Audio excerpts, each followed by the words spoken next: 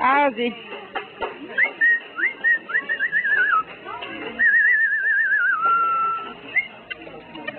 Hi, Ozzy. Hi, Ozzy. God, and we just got him.